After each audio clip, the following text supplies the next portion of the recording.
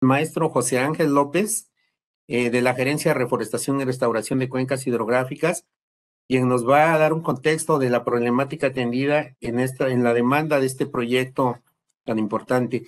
Muchas gracias y adelante, maestro José Ángel. Bienvenidos a, a este taller, este curso virtual en el cual se están dando a conocer eh, algunos resultados que se obtuvieron durante el, apoyo que se dio para este proyecto y más que nada agradecer, agradecer a los investigadores que formaron parte de este proyecto, dado que este, este punto importante de la investigación tiene que ver mucho con la importancia también de las especies que están, estamos mencionando, ¿no?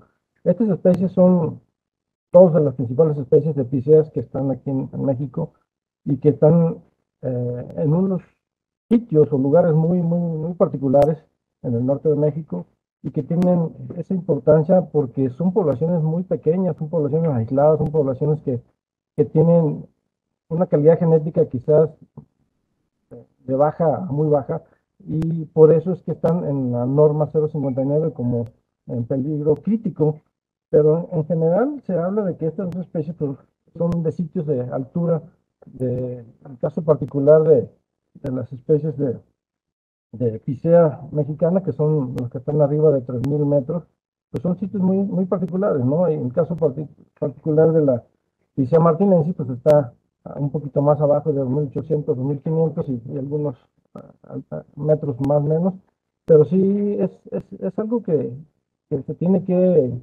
hacer algo porque estas, condiciones que tienen estas poblaciones pequeñas tienen mucho que ver con la conservación. Si no sabemos exactamente qué condición tiene, qué situación hay de forma natural de estas especies, pues obviamente que se, se, tendría problemas para saber cómo conservarlas, ¿no? Ahorita con este conocimiento que se adquirió durante el proyecto, pues obviamente va a haber una, una plataforma de base para poder determinar que esa importancia se puede se puede aumentar más en relación a, a conservar recursos, ya sea en, en, situ o ex situ, pero también para darle una, una, una alza en, en, cuanto a la calidad de, de, material genético que se está teniendo en esos sitios.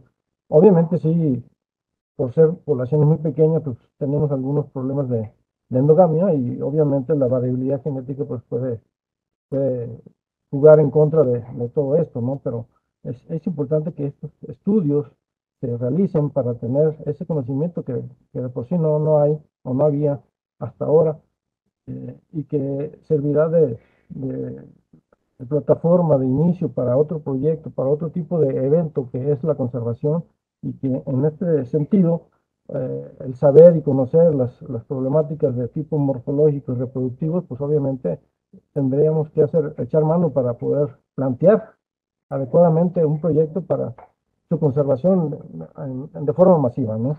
Esto es importante porque, porque es una población que está en peligro, está en peligro crítico y, y obviamente tiene afectaciones a los diferentes cambios climáticos que se están sucediendo y pues es, es, es algo que también nos interesa y que es algo que se apoyó para poder determinar que este tipo de proyectos pues deberíamos de tenerlo más, ¿no?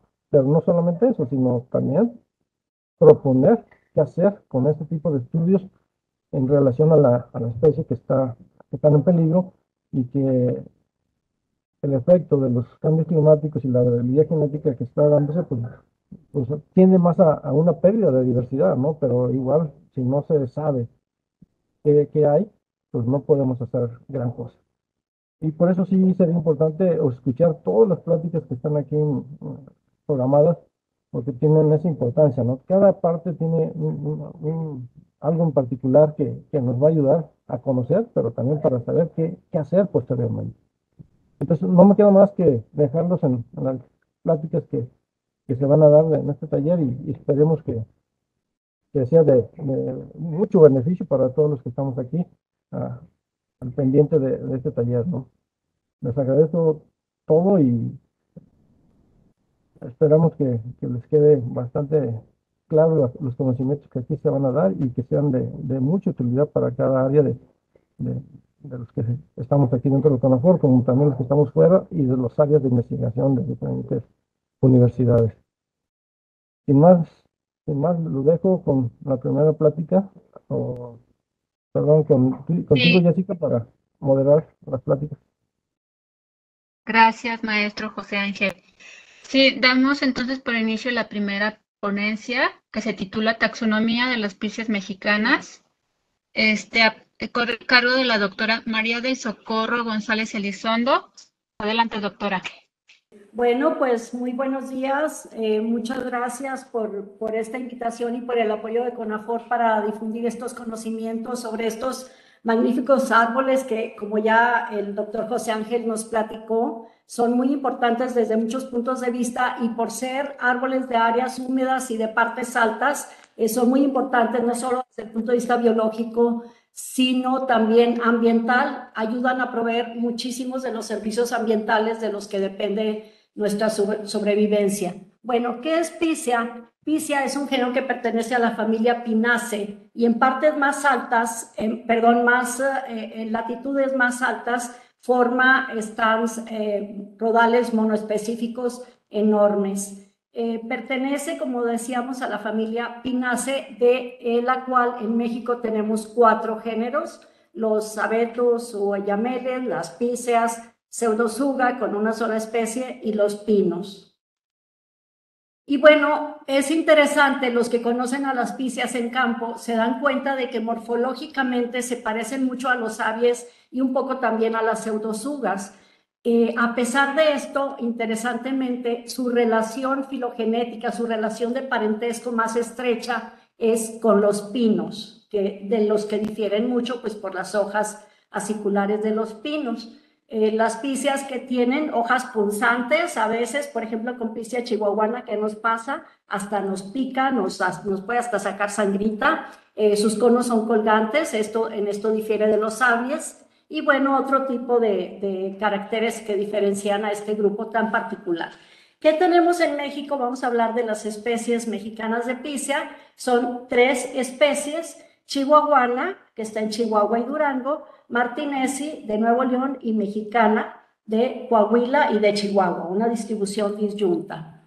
Y Picia tiene en México esta distribución que se llama relictual o paleoendémica. Son organismos que son supervivientes de otras épocas en las que cuando hizo frío, por allá hace 13.000 años, eh, fue la última glaciación, eh, pues presentaban una distribución más amplia y al irse calentando el clima de manera natural, eso es totalmente aparte del cambio climático, eventos extremos y todo eso que está ocurriendo actualmente, el cambio natural del clima eh, anteriormente hizo que se refugiaran en los lugarcitos en donde, como dijo el doctor José Ángel, están ahora en lugares muy pequeños, ¿no?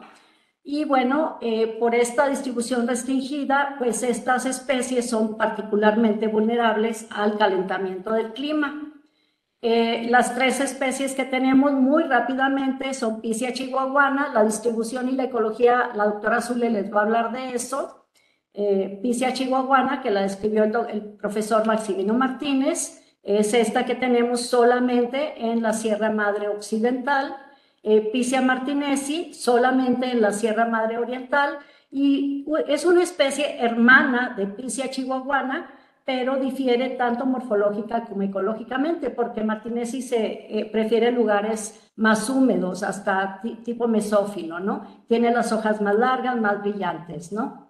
Y bueno, es un sinónimo de chihuahuana, eso, se ha tratado como sinónimo y como variedad, pero diversos estudios han mostrado que son muy diferentes. Y Picia mexicana, el doctor José Ángel decía, está en los lugares más altos.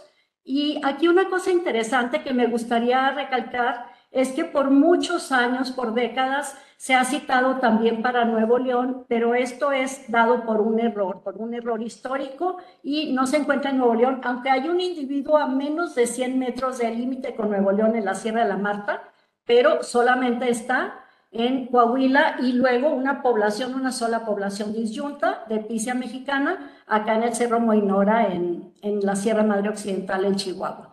Y bueno, este, se conoce de, de estas dos poblaciones que estamos mencionando. Y para concluir, les puedo decir que a ambas especies es decir, perdón, las tres especies eh, forman parte de un grupo que es claramente monofilético, es decir, todas las especies de Piscia están relacionadas. No tenemos el, el, digamos, el peligro de que los filogenetistas nos vayan a decir al rato que las americanas ahora se deben de llamar Pisceopsis o qué sé yo, ¿no? Esa cosa que tanto se quejan de los taxónomos, pues en realidad es en los estudios filogenéticos donde se hacen esos cambios. No, como, como es un grupo monofilético, eh, tanto las de Eurasia como las de América son lo mismo y las nuestras, las tres de México, quedan en el grupo más relacionado con las asiáticas, interesantemente. Y pues para concluir, decirles que todavía quedan muchos huecos en el conocimiento de estos magníficos árboles y que hay mucho que hacer, tanto en su taxonomía, el doctor Cristian probablemente les puede mencionar algo al respecto de esas de Nuevo León, y en su ecología por supuesto, genética y todos los demás aspectos en cuanto a su conservación. Muchas gracias. Gracias, doctora Socorro. Eh, le cedemos la palabra a la doctora Carmen Zulema Quiñones Pérez y ella nos va a platicar sobre la, distribución, ecología y estado de conservación de las especies mexicanas. Adelante, doctora Carmen.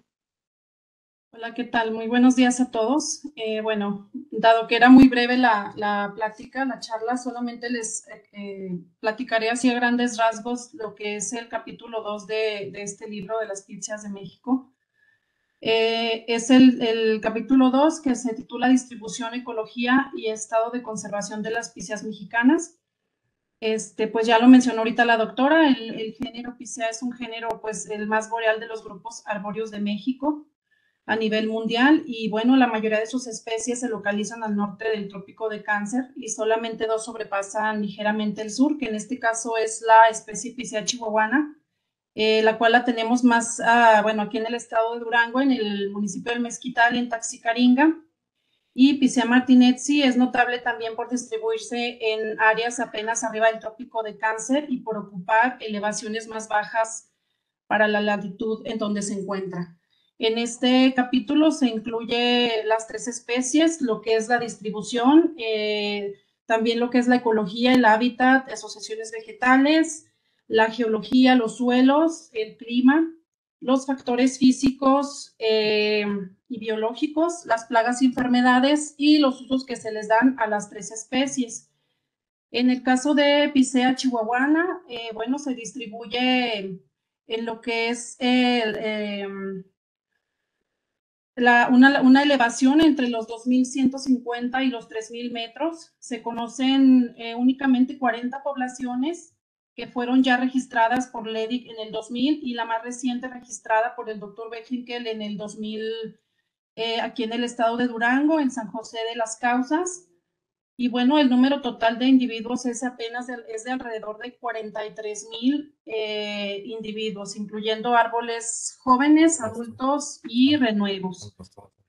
Este, en el caso, bueno, de las, de las otras especies, tenemos también este, la distribución que es eh, básicamente entre los, en el caso de Picea martinetsi, entre los 1800 y 2650 metros este, aquí, bueno, se restringen a zonas muy húmedas, asociaciones con hábitats riparios.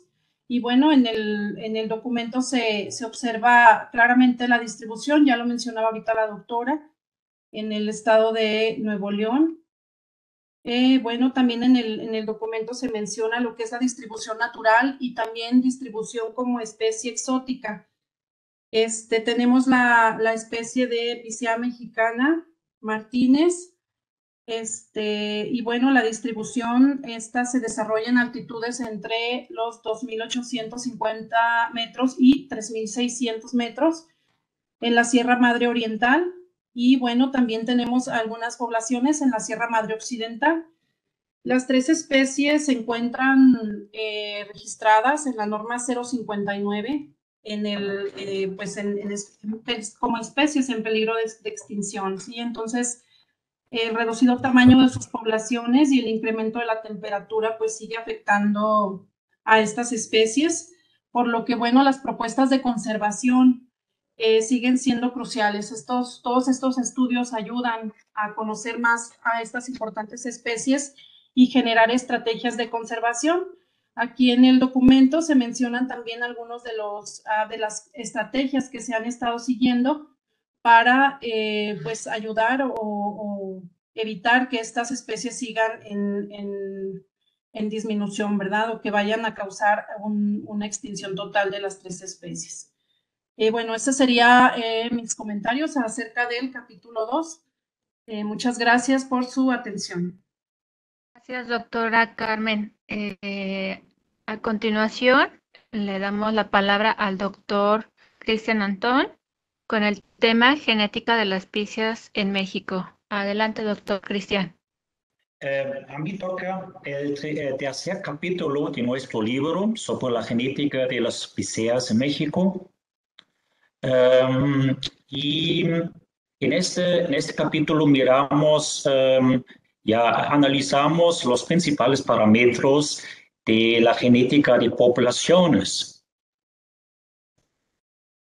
Y este capítulo tiene un contenido, una introducción, introducción, algo escrito sobre la diversidad genética de las piseas mexicanas, especialmente estudios genéticos en Picea martinense, estudios genéticos en Picea mexicana, algo sobre hibridaciones posibles y la conservación eh, genética de las dos especies, in situ y éxito.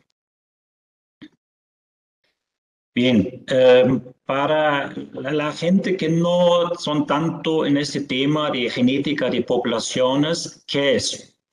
Se escucha un poquito ya extremo, muy académico, pero sí tiene ya em, aplicaciones muy importantes.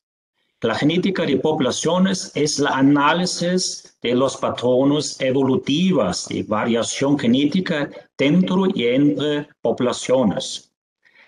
Y existen muchísimos parámetros para eh, caracterizar esta genética en grupos, en poblaciones, en, el caso de los piseas también. Y Existen dos grupos grandes. Unas son parámetros que están midiendo la diversidad genética y la diferenciación genética. Y la diversidad genética es fundamental, muy importante también para los planes de manejo de nuestros bosques, nuestras especies forestales, porque esta diversidad genética influye en la capacidad evolutiva en el mediano y largo plazo. O sea, este, esta variación genética que tienen esta población de los piseas, ellas permiten que la, esta población, esta especie pueden adaptarse a cambios, cambios de clima, cambios contra enfermedades que a veces entran y, sí, eso en el medio y largo plazo, pero también en el corto plazo se influye la viabilidad de poblaciones. O sea, si la, la, variación genética es muy reducida, las plantas y las generaciones nuevas se enferman, son menos aptas para, para vivir, porque se pasa algo como procesos de endocruza y sí, una, una reducción en general de la vitalidad. La, entonces, la diversidad genética se influye, está influido por mutaciones, por flujo de genes o migración, o sea, por el flujo, por ejemplo, de polen y de semillas, algo que se llama deriva genética, que es, este, encontramos en poblaciones muy pequeñas. Es son procesos aleatorios eh, de, de, frecuencias relativas de genotipos y alelos y selección natural. Y todo se influye la adaptación de nuestras especies. Y esta diversidad genética está conectada con otros parámetros importantes en, en poblaciones, por ejemplo, el tamaño de las poblaciones, endogamia, la, es, la distribución espacial y la organización social de los individuos y rasgos de comportamiento. En contrario, la diferenciación genética, que muchos mezclan esto con una diversidad genética, expresan los factores individuales, sociales, ecológicos y históricos que podrían provocar la diferencia genética entre las poblaciones. O sea, nosotros midimos con esto principalmente las diferencias genéticas entre las poblaciones. Cada población es nuevamente un poquito diferente que la otra por ciertas condiciones. Bien, ya eh, los eh, dos eh, ponentes antes ya explicaron la distribución espacial de nuestros PCAs, los tres especies que tenemos aquí en México, los tres solo crecen únicamente aquí en este país. Y a la izquierda miramos Picea chihuahuana, que es la especie que tiene la mayoría de las poblaciones. Conocemos más o menos 40 poblaciones. Aquí miramos algunos puntos en el estado de Chihuahua y, y Durango. En, en ninguna otra parte encontramos esta especie hasta ahora al menos. Picea, mexicana, eh, martinense, miramos aquí solo tres, realmente son cuatro puntos verdes en este, en este mapa. Solo en el estado eh, Nuevo León. Y estas son poblaciones pequeñas, aisladas, y este, se, este miramos también en su genética. Y la tercera especie, Picea eh, mexicana, encontramos en las eh, zonas más altas eh, en los nuestros dos sierras, Madre Occidental y Oriental, y aquí miramos solo dos puntos, pero realmente son tres poblaciones. Una en Coahuila, en la frontera al estado de Nuevo León, pero todavía Coahuila, y en el sur Chihuahua. En, en, eh, en el volcán, ex volcán Morinora también en zonas muy altas. Bien, los resultados de un análisis de, la diversidad genética nos cuenta mucho sobre estas tres especies. Existen análisis de varios parámetros, eh, varios marcadores moleculares. Eh, antes se usaron muchos isoenzimas para cuentar la diversidad genética y aquí, en el caso de Picea chihuahuana, miramos algo como se llama HE. Esa es la eh, heterocigosidad esperada, que cuenta mucho como una diversidad genética de una población. Y miramos, Picea chihuahuana tiene con 0.09 un valor bastante pequeño. Picea martinense con isoenzimas 0.11 y Picea mexicana 0.13. Nosotros analizamos con, con el marcador SNP eh, los dos últimos eh, especies, Picea martinense y mexicana, y encontramos algo parecido. Entonces miramos aquí algo como un rango. Picea chihuahuana tiene la diversidad genética en promedio más pequeña. Picea mexicana intermedia, una diversidad genética no tan alta, pero más grande como Picea chihuahuana. Y Picea mexicana tiene la diversidad en promedio más grande. Más adelante voy a explicar por qué tenemos esto. Los resultados de los análisis de la diferenciación genética nos cuenta mucho también antes, eh, otros autores analizaron esta diferenciación con un parámetro que se llama FST. No importa cómo ahora funciona, pero él cuenta la diferenciación entre las poblaciones. Y aquí miramos, eh, en el caso de Martinense, tenemos la diferenciación genética más pequeña, mexicana intermedia y pisea chihuahua más grande. O sea, eh, las poblaciones de eh, Piscea chihuahua son más diferentes en su genética que los otros dos especies. Aquí miramos una gráfica junto con algunos eh, mapas de los dos especies martinense y mexicana y muchos puntos. Ese es una, una, un diagrama, se llama um, una, es un análisis de principales uh, componentes. Y este punto son individuos um, caracterizados por nuestros marcadores SNPs. Y miramos aquí ya nuestras poblaciones analizadas, solo de estas dos especies de Picea, sin Picea chihuahua. Y aquí miramos arriba algo que se llama el bútano, es una población Ipicea martinense. Aquí eh, eh, aguas frías también de la misma especie, Picea martinense. Aquí hay puntos rojos de una población se llama aguas aladín.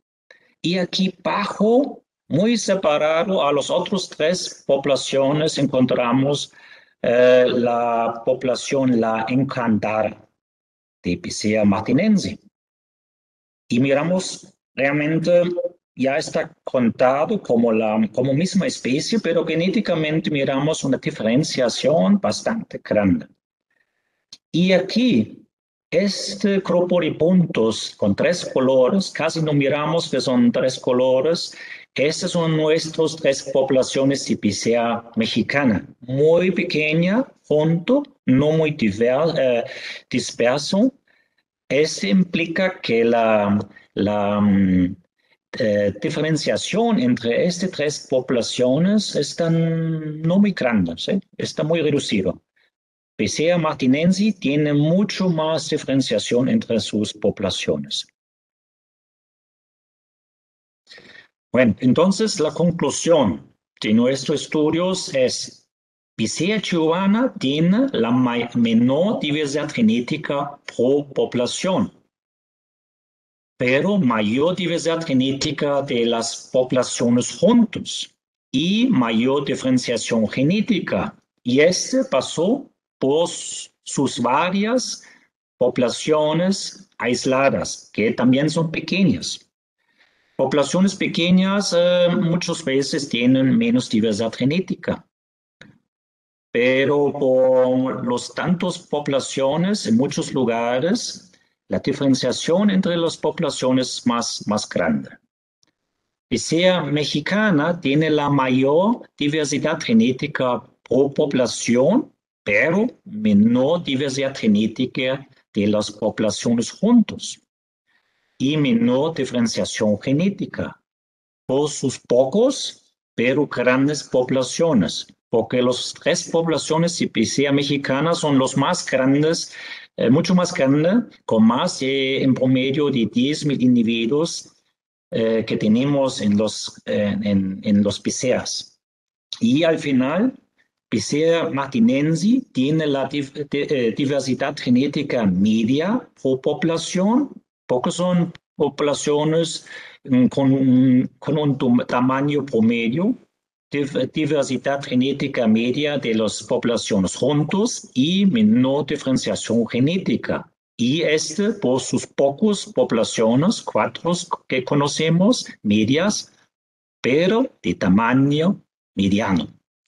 Entonces, por lo tanto, Picea martinense parece sea la piscina más sustentable de los tres piscinas en México. Entonces, esa está la ponencia. Muchas gracias por, por su atención. Muchas gracias, doctor Cristian. Le damos la palabra al maestro Eduardo Mendoza Maya con el título Indicadores reproductivos de Pice martinense y Pice mexicana.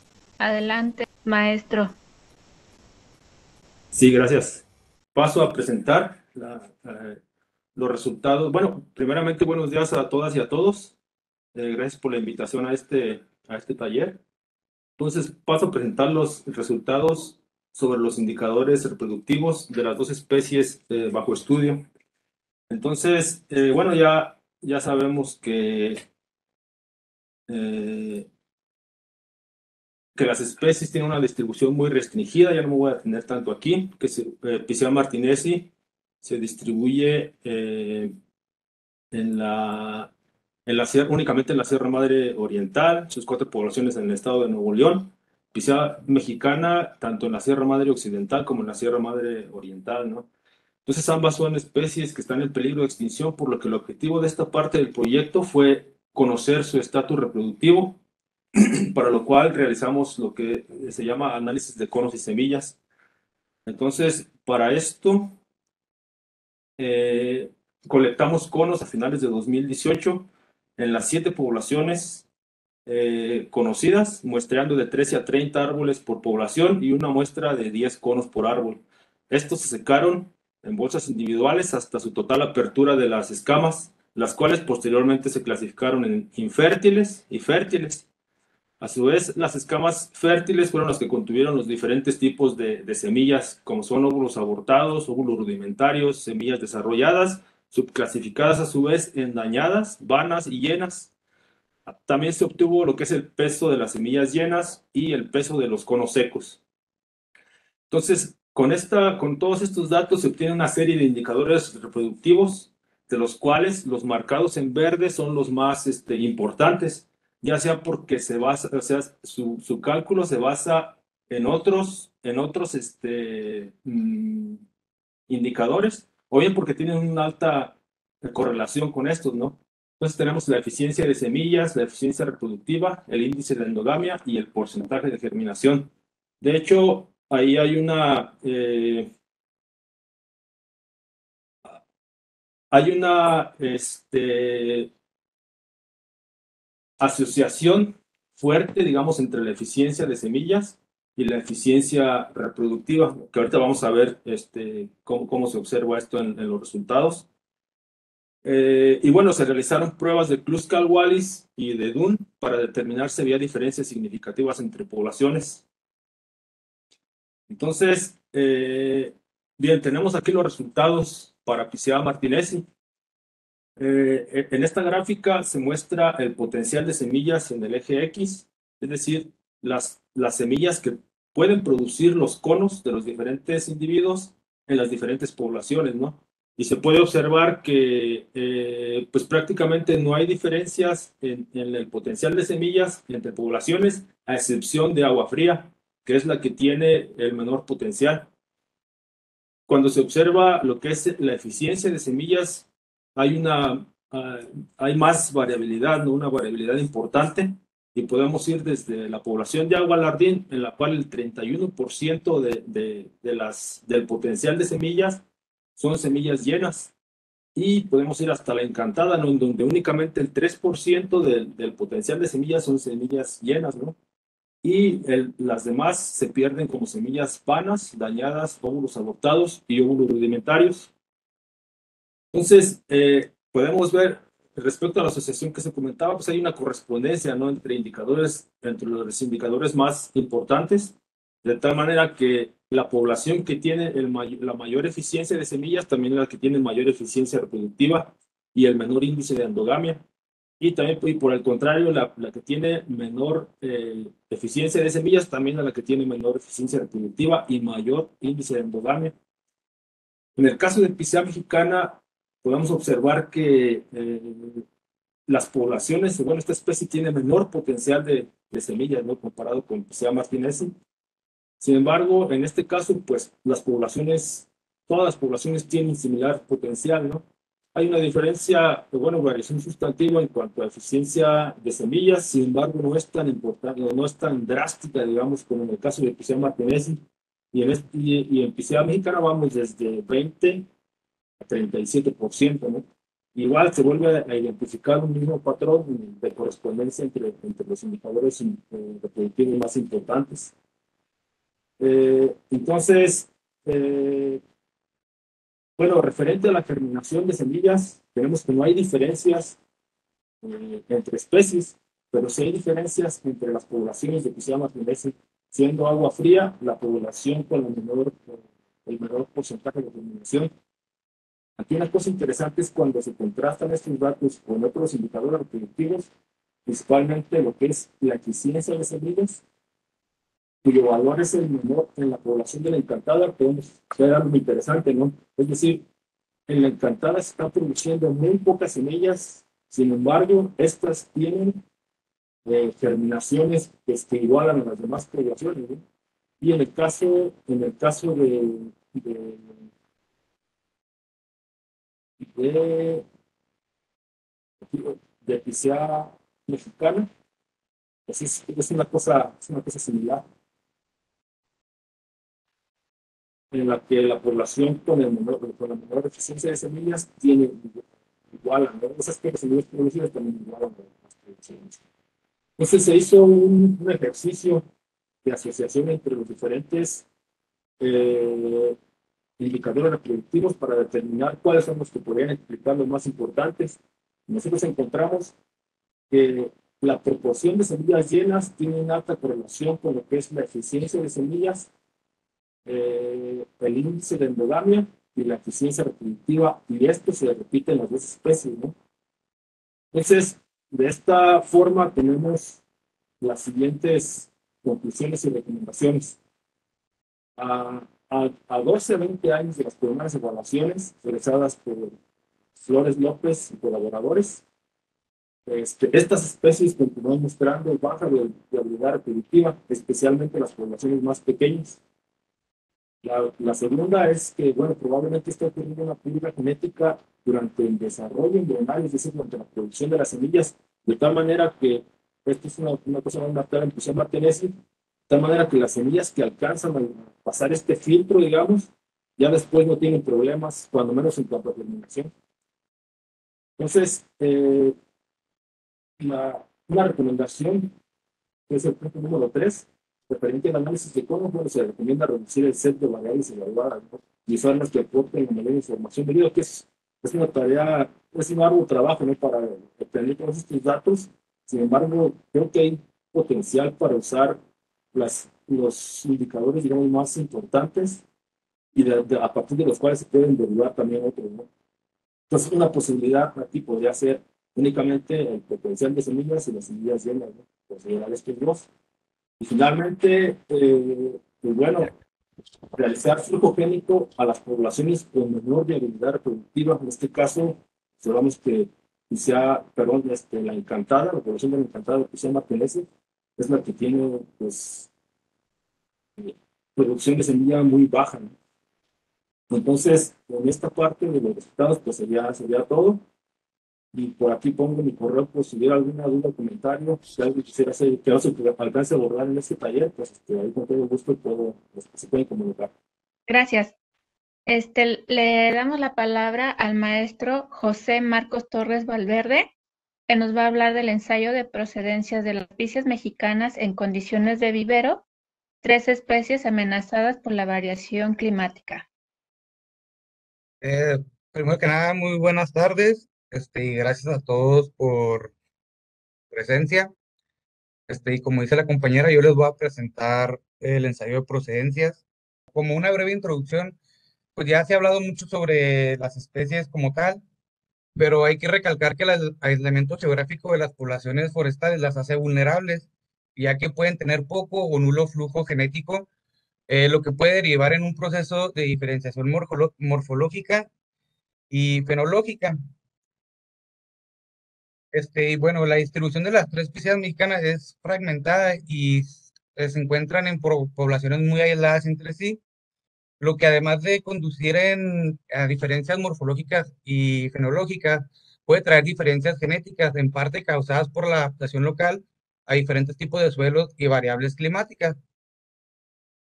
Eh, este, algo que no se ha mencionado y es importante mencionar es que estas tres especies de piceas para el género en general, el cual tiene aproximadamente 35 especies, este, según de la clasificación que se vea, ¿verdad? Puede tener más o menos. este, representan los dos hábitats más sureños del género, Picea, este, Picea y Picea mexicana. Este, y son, son especies que están restringidas a, a, las dos sierras que tenemos en México, Sierra Madre Occidental y Sierra Madre Oriental.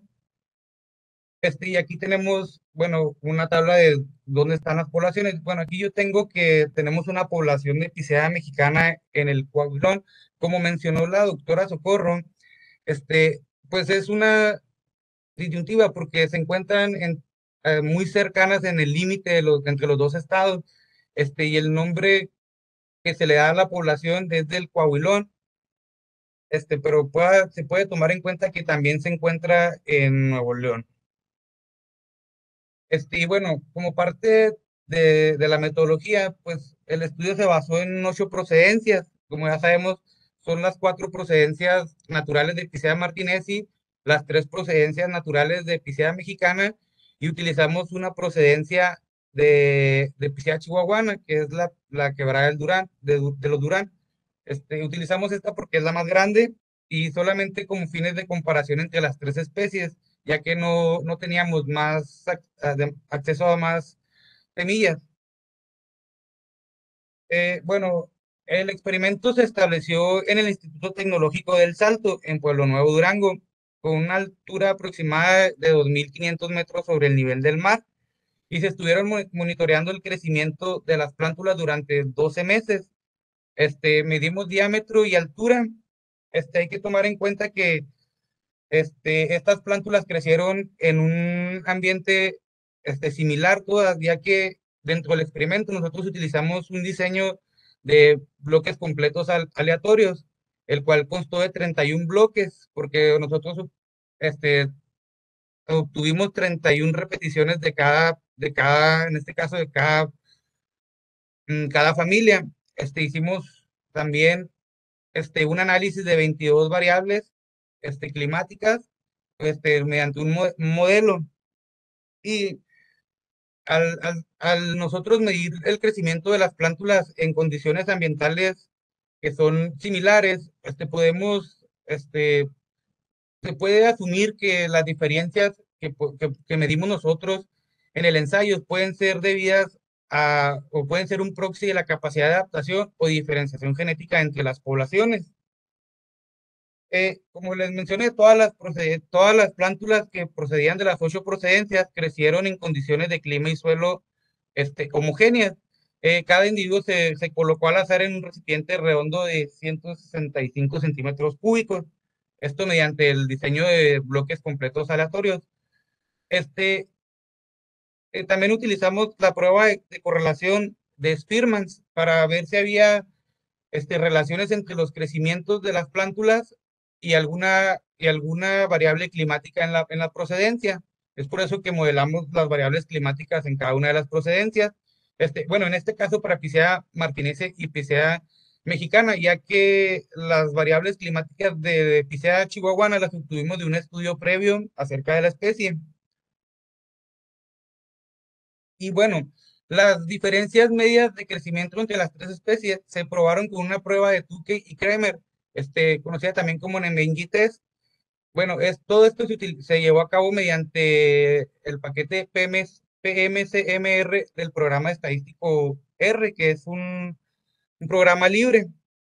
Eh, y nosotros llevamos a cabo una corrección de Bonferroni, la cual reduce el alfa considerablemente. Todo esto para buscar que nuestras correlaciones o nuestros niveles de significancia sean más altos.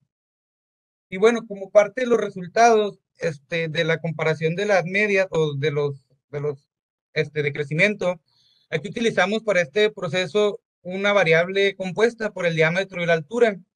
Este, y como era de esperarse, las tres especies de Picea pues son muy diferentes entre sí, ya que los valores de P casi son cero. Eh, después de la, eh, de la correlación de Ferroni se detectaron, digo, de la corrección, se detectaron correlaciones significativas este, con la altura en el crecimiento de las plántulas. Este, aquí cabe destacar que hubo más variables que se relacionaron, sin embargo, después de, efectuar la corrección de Ferroni, eh, tenemos que, que solamente una es prácticamente significativa. Sin embargo, es muy interesante ver este cuadro que les presento en este, en este momento, donde se puede ver que hicimos dos análisis, uno con donde tomamos en cuenta la procedencia de Picea chihuahuana y uno donde no la tomamos en cuenta. Este, donde tomamos en cuenta la Picea chihuahuana, hubo, fue, la, fue donde encontramos la variable más correlacionada o que, o que era más significativa según la corrección, o prácticamente era significativa según la corrección de Bonferroni, que fue la elevación. Este, pues la elevación este, puede explicarse de la siguiente forma, ya que la elevación este, pues prácticamente nos delimita o nos dice cómo va a ser el clima en un, en un lugar, ¿verdad? Entonces, prácticamente por eso está tan relacionada. Este, sin embargo, podemos ver que hubo otras variables que se relacionaron también de manera pues significativa. Sin embargo, después de la, en este estudio, sin, em, después de la corrección de Bonferroni, este, pues encontramos que la elevación es la, la significativa. Y aquí tenemos dos, pues dos figuras de las dos variables más correlacionadas, donde podemos ver prácticamente su colinearidad, que es muy alta, lo cual este, explicaría los crecimientos que tenemos en el, en el ensayo de procedencia. Eh, y en nuestras conclusiones, ya por último, bueno, pues nuestros resultados sugieren que existen importantes diferencias cuantitativas, genéticas cuantitativas entre las especies, como vimos en la primera tabla, y que las diferencias de procedencia están significativamente correlacionadas con la elevación. Esto apoya la hipótesis de la adaptación a las condiciones locales. Y por último, pues nuestros hallazgos pueden tener importantes implicaciones prácticas para los programas futuros de conservación de estas especies, sobre todo hablando en conservación ex situ, lo que este, bueno, podemos también concluir que las, las plántulas crecerán mejor si las sembramos en sus procedencias. Por ejemplo, pues tendríamos que seleccionar las mejores familias de cada procedencia y con esas podremos ya sea reforestar o forestar las mismas áreas donde se encuentran las poblaciones naturales ya conocidas o hacer lo que se conoce como una migración asistida y buscar lugares que tengan condiciones climáticas similares a las procedencias naturales. Y por mi parte, eh, sería todo. Muchas gracias por su atención. Gracias, maestro José Marcos. Este, seguimos con la siguiente ponencia. Es por parte eh, del, otra vez del maestro Eduardo Mendoza Maya, que se titula Censo, Estructura Demográfica y de Diversidad Arbórea de dos especies de pícea. Sí, pues eh, nuevamente buenos días a todas y a todos. Ahora voy a, a pasar a, a, presentar los resultados referentes al censo, estructura demográfica y diversidad arbórea de las dos comunidades donde habitan estas piceas. Eh, bueno, ya omito un tanto la introducción, ya sabemos cuál es la situación de las especies. Vamos aquí a mencionar que ahora el objetivo de esta parte del proyecto fue conocer el estatus demográfico y la diversidad del, de los bosques en que habitan estas especies, eh, para lo cual se realizaron censos poblacionales y se establecieron parcelas, eh, parcelas de monitoreo permanentes en, las siete poblaciones conocidas. Entonces, este, Referente al censo y, la estructura demográfica, en 2018 a 2019 se realizaron estos censos poblacionales en los que se registraron todos los individuos que tuvieran una altura mayor a 30 centímetros. Y estos se registraron en diferentes categorías diamétricas, eh, siendo la categoría 0 aquella comprendida por los individuos mayores a, a, 30 centímetros, pero los que no se les podía todavía medir el, el, el TAP, ¿no? Porque no llegan, no, no tienen, todavía no llegaban a la altura, ¿no? Entonces, este, estos datos se agruparon en clases diamétricas de 10 centímetros para posteriormente observar cómo es esa estructura, ¿no? Las poblaciones. Eh, pero también, además, con estos mismos datos se hizo otra, otra eh, clasificación de los individuos, eh, basada en lo que es la, el estadio del desarrollo ¿no? de estos. Entonces, de esta forma tenemos la regeneración, los árboles juveniles, eh, que son no reproductivos, y los árboles adultos. A su vez, la regeneración y los juveniles con, eh, conformaron lo que, lo que es el reclutamiento, a partir del cual se hicieron los cálculos de, la proporción reclutamiento árboles adultos. ¿no? Y de esta manera tenemos dos estructuras basadas en los diámetros y basadas en, el estadio de desarrollo de los individuos. Entonces, en el caso de la, de la diversidad arbórea, lo que se hizo fue establecer parcelas permanentes de monitoreo, eh, en total 56 parcelas en las poblaciones. Bueno, eh, estableciendo 8 parcelas por población, las cuales tuvieron eh, medidas de 50 por 50 metros y que se distribuyeron de manera este, en toda la, superficie de las poblaciones para tratar de muestrear en lo, más, en, en lo más posible este, pues las, las variantes ¿no? en el micro, microambiente donde se desarrollan estas especies. Y bueno, de, los, de todo el set de datos obtenidos a partir de estas, de estas parcelas, pues aquí en este, en este, caso los que nos interesan son los, el tipo de árboles que se marcaron, bueno, los diámetros que se marcaron, que fueron mayor o igual a 7 centímetros de edad, que corresponden a los árboles adultos, y bueno, se registró eh, a qué especie pertenecen, ¿no? Bueno, aquí tenemos algunas imágenes de trabajo de campo referente a los censos poblacionales. Esta es la población del Monora. La de la derecha es el trabajo de la medición de las parcelas en Marta. Entonces, referente a los resultados de los censos, aquí me gustaría aprovechar para hacer un comercial y, este, y comentar ¿no? que, que estos censos poblacionales se, se, publicaron en el artículo que se muestra aquí, apenas hace, bueno, en, en agosto pasado, este, y es un trabajo que se derivó de, de este proyecto de, de, este proyecto de investigación, así como también de mi tesis doctoral. Entonces, en este trabajo, en este artículo, se, se publicaron pues, precisamente estos censos de las, poblaciones, de las poblaciones conocidas, las siete, más nuevos rodales ¿no? que se encontraron. Entonces, eh, de acuerdo con estos resultados, podemos observar que en Picea martinesi tenemos poblaciones que van desde los 702 individuos totales, que, son, que es en la Encantada, hasta más de 84 mil, ¿no? que es en Agua del Jardín. En el caso de Picea mexicana, tenemos poblaciones que van desde los 2.200 individuos en el Coahuilón hasta casi 18.000 en, en la Marta, ¿no? Aquí cabe recalcar que eh, estos son los primeros censos poblacionales totales que se, que se publican para estas especies. ¿no? Anteriormente había eh, estimaciones de los tamaños poblacionales con base en muestreos, los cuales son muy útiles, pero sin embargo un censo poblacional completo pues eh, siempre es una aproximación, una mayor, tiene una mayor aproximación a, la realidad de las especies que nos ayuda a contestar esa pregunta de cuánto es lo que se está conservando, o cuánto es lo que hay que conservar. Entonces, eh, bueno, al final de la presentación, por ahí va, voy a poner el link para que guste este, darle una, una revisada lo que se comenta.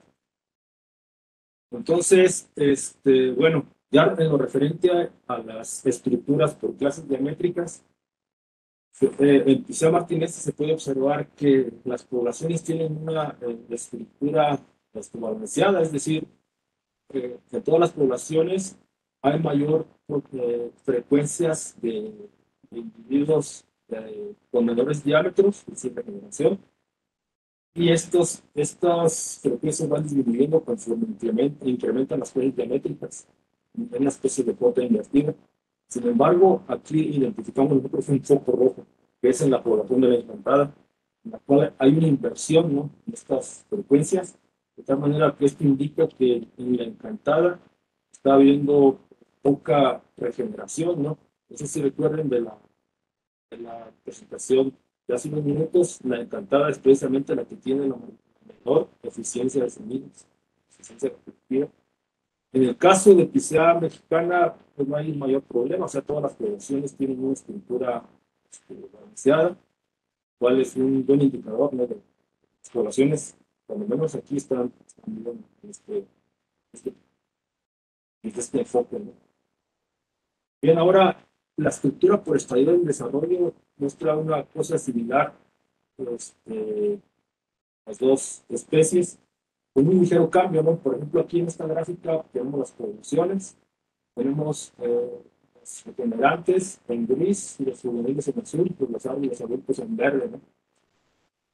Eh, de acuerdo con estas, bueno, aquí los, los, los regenerantes, los juveniles son los que constituyen el reclutamiento y de acuerdo con estos resultados, además de la encantada, también butano, hay una, hay inversión ¿no? en, esas, en esas proporciones, en las cuales tenemos un mayor reclutamiento de, de, individuos adultos, es decir, pues está produciendo este,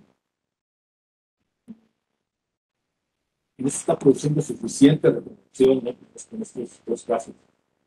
Y bueno, en el caso de Pizarra Mexicana, no hay mayor problema, o sea, sigue, las poblaciones siguen estando bien en, en donde hay mayor proporción de regenerantes que de individuos adultos. En el caso, bueno, ya referente a lo que es la diversidad arbórea en las comunidades, en estas gráficas lo que se muestra son las especies ranqueadas de acuerdo a su abundancia proporcional.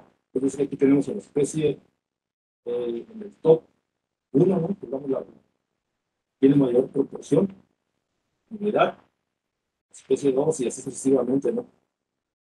Entonces, podemos observar, de acuerdo a estos resultados, que la, los, los, bosques de Picea martinesi tienen más, bueno, albergan más especies que los bosques de Picea mexicana.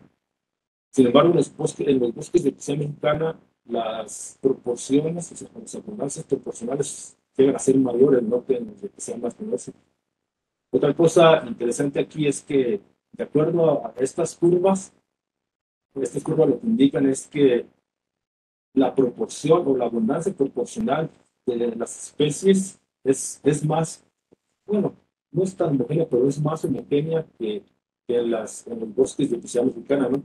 Por ejemplo, aquí, en un caso, más, un caso extremo del probilón, tenemos la, la, especie ranqueada como número uno con proporciones mayores de 0.5%. ¿no? La que le sigue está por, encima de 0.4 pero la tercera la tercera mejor ranqueada cae ¿no? hasta casi cero ¿no? por ciento de, de, de, de abundancia. Entonces, es decir, esto lo que indica es que en estas comunidades de la mexicana hay especies que dominan, ¿no? que son más abundantes que otras. Lo que no sucede. Bueno, en algunos casos sí, por ejemplo, aquí en donde agua, agua fría, tenemos una, una caída drástica, ¿no? pues, la primera la segunda especie ranqueada. Entonces, bueno, aquí se muestra la lista de las especies por, por localidad y efectivamente se observa que las, los bosques de Picea martinesi pues tienen, albergan más especies que los de Picea mexicana, lo cual puede estar relacionado con el siguiente resultado, ¿no? que al haber más especies aquí, pues hay mayor competencia y eso repercute en las, en las diferencias en la representación de cada especie en nuestras comunidades, ¿no? Por ejemplo, en Picea martinesi, eh, la representación alcanza un máximo del 6%, ¿no? Mientras que en Picea mexicana eh, casi alcanza el 50% de esta especie con respecto a la comunidad. Entonces, de esta manera, eh, tenemos las siguientes conclusiones recomendaciones. Eh, bueno, estos, estos censos y las estructuras demográficas mostraron que las poblaciones son estables, ¿no? En el sentido de que los números totales, en algunos casos, pues son, bueno, en la mayoría de los casos, pues son aceptables, no son poblaciones viables, puede decir, a presentar altas frecuencias de reproducción. Sin embargo, se recomienda especial atención a las poblaciones de la Encantada y el Butano, de Picea martinesi, es decir, el incremento de las poblaciones eh, y como se, mencionaba también en la presentación anterior, pues con génico. El bosque de Pizá martinesi es más diverso que el de Pizá mexicana y finalmente Pizá martinesi representa en menor grado a sus respectivas comunidades, mientras que PCA mexicana puede ser la especie dominante. ¿no? Entonces, en conjunto, estos resultados ayudan a, digamos, a tener mayor claridad en, en cuánto, cuánto es lo que se está conservando, se va a conservar y, y esto, y bueno, la parte de, las, de la diversidad de especies en las comunidades, este, nos ayuda a, ver qué más hay ¿no? en, estos, en estos bosques ¿no? que entran, digamos, en conjunto con, con la conservación de las especies que nos interesan. Eh, y bueno, eso, eso sería todo de mi parte. Igual vuelvo a dejar aquí el, correo para si hay alguna duda o comentario. Con gusto. Y ahorita en un momento pego el, link para, para quien guste este, darle una checada ahí al artículo. Entonces, pues sería todo de mi parte. Muchas gracias. Gracias, maestro Eduardo. Este, vamos a, a seguir con la siguiente ponencia. Es por parte del doctor Jonathan Gabriel Escobar Flores con el título Variables tasonómicas, métricas, topográficas y estructura en poblaciones de dos especies del género Picea. Este, les recordamos que vamos a tener una sesión de preguntas y comentarios. Si quieren ir haciendo también sus preguntas en el chat, las podemos ir guardando ahí para esta sesión. Este, le dejo el micrófono, doctor Jonathan. Gracias. Gracias, Jessica. Buenos días. Este, vamos a continuar con este trabajo que es parte del capítulo 7 y voy a hablar de los mismos sitios que ahorita el maestro Eduardo ya nos ha estado compartiendo acerca de una evaluación que hicimos de variables topográficas, dasométricas y la estimación de la estructura de esas dos poblaciones que ya se han estado hablando. Eh, igual, este, como eh, previamente se ha mencionado, tanto Picea mexicana como martinensis son dos de las tres especies endémicas del norte de México y su distribución es limitada a las, a las dos sierras madres, a la oriental y a la occidental. Para el caso de Picea martinensis, pues la encontramos en, mexicana, perdón, en la Sierra Madre Oriental, en alturas superiores a los, 3.200 metros, y en la Sierra Madre Occidental a partir de los 3.000 metros.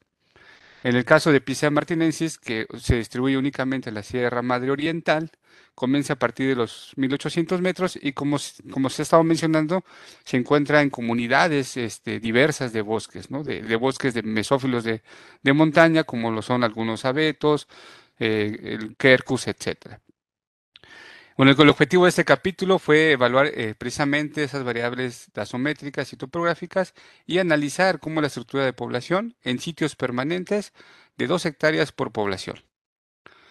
Estos fueron los sitios permanentes. En, el cuadro en, color este, oscuro tenemos a lo que es el Moinora, la población de Pixea mexicana, y los cuadros en triángulo corresponden a Picea martinensi, eh, y en rojo eh, también tenemos algunos cuadros de Picea mexicana de las poblaciones que se estudiaron, que fueron siete en total. ¿Cuál fue la metodología? Bueno, para la primer parte que fue el determinar las condiciones topográficas en donde se encuentran esas poblaciones, primero usamos un modelo digital de elevación tipo radar. Lo usamos de esta manera porque a diferencia de otros métodos, el radar eh, no, eh, las nubes no afectan a, la penetración de la microonda y podemos tener una representación del terreno eh, muy, muy, este, precisa. A partir del modelo digital de elevación podemos derivar otras variables que nos describen las características del terreno, como lo es la pendiente, el aspecto azimutal, la orientación de la pendiente azimutal, la curvatura y la rugosidad. Esta última es eh, muy importante porque a partir de, nuevas técnicas, como lo es la rugosidad vectorial, podemos analizar eh, la heterogeneidad de las tres variables anteriores resumidas en una sola. Para la estructura espacial utilizamos dos índices. Uno de primero de ellos fue el de Clark Evans, que básicamente nos permite analizar si los árboles de las piezas de interés se encuentran, eh, cómo es su distribución, si es agrupada, si es aleatoria o si puede llegar a formar un hexágono. ¿no? Es muy similar al índice de la diferencia es que este sigue un modelo de distribución Poisson y es más cercano a cuando hacemos un análisis de frecuencia respecto de un árbol y el otro. ¿no? aquellos valores que sean similares a 1, vamos a intuir que son distribuciones aleatorias, pero cuando superan el valor de 1 tienen a, a un agrupamiento. El otro índice que utilizamos se denomina índice de uniformidad de Gadow, que al, igual que el anterior nos va a permitir ver esa distribución, pero con respecto a, sus vecinos. Definimos un árbol central y analizamos los vecinos que se encuentran alrededor de él. Y aquí los valores mayores a 0.6, inmediatamente nos va a estar hablando de un agrupamiento con sus vecinos. En cuanto a variables asométricas, fue una hectárea en donde se estuvieron tomando estos datos.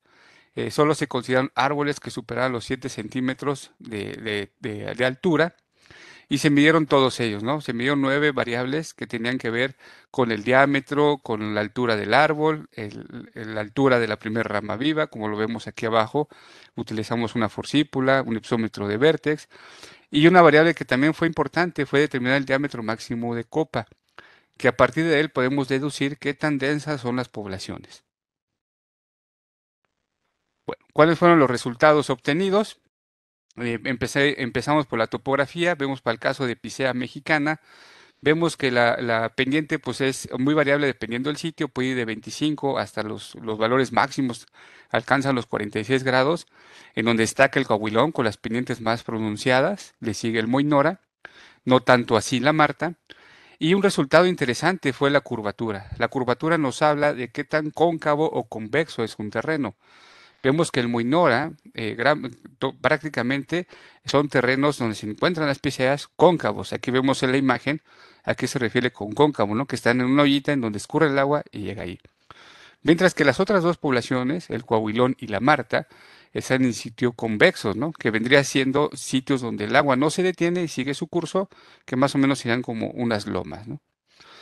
En cuanto a la orientación, eh, sucedió algo también muy interesante en el Moinora. Tenemos un gradiente de orientaciones de, laderas en donde se encuentran las poblaciones de PCA, norte, sur, este, suroeste.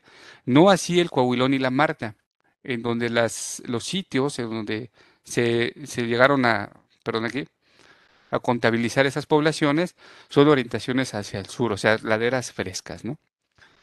Veamos ahora la rugosidad. Para el caso de Picea mexicana, las tres poblaciones podemos interpretar que están en sitios accidentados, ¿no? con variación en la pendiente, con variación en la orientación, pero destacan tanto el Coahuilón como el Muinora porque esas características del terreno nos habla que va a haber una heterogeneidad de ambientes debido a que hay una gran variación en las formas del terreno. Esto fue lo que sucedió con Picea mexicana. Vamos a ver qué pasó con Picea martinensi, que se encuentra en esta parte de, Coahuila, de la Sierra Madre Oriental. Vemos también una gran variación en la pendiente, en el caso de la Encantada con las pendientes menores a 20 grados, pero vemos agua fría que superó los 30 grados, al igual al Ardín. Al igual que las poblaciones de Picea mexicana, Picea martinense presenta un, un, patrón interesante, ¿no? Solamente la población del butano se encuentra en sitios eh, cóncavos, mientras que las otras tres poblaciones tienden a buscar los sitios ligeramente convexos, ¿no? como lomeríos, etcétera. Vemos aquí la orientación fue un poco diferente en comparación a la mexicana, hubo mayor variación. Entre la de mayor variación fue agua fría, pero principalmente aquí orientado hacia laderas este, norte, laderas más cálidas, tanto agua fría como agua de alardín, mientras que laderas más frescas sucedió para el butano y la encantada. ¿Sale? En términos de la rugosidad, aquí fue donde se presentaron los valores más altos. En el caso de agua fría, fueron valores que superan el, un punto 30, lo que quiere decir que hay una serie de, de topoformas como valles y crestas que le dan ese valor. Entre más heterogéneo es, mayor es el valor de la rugosidad. A diferencia de la encantada, la encantada eh, desde un punto de vista de la, de, la, de la, topografía no es tan diversa, ¿no? Aquí podemos interpretar que son lugares planos, con ligera pendiente, etcétera. Ahora vamos a ver cómo nos fue con la estructura espacial. Para el caso de Picea mexicana, vemos que el Moinora fue eh, el que tuvo un valor cercano a 1, que es el índice de, de, Clark Evans. Cuando se acerca uno estamos hablando de poblaciones que tienden al agrupamiento, no así para las otras tres, que están eh, de manera dispersa o aleatoria.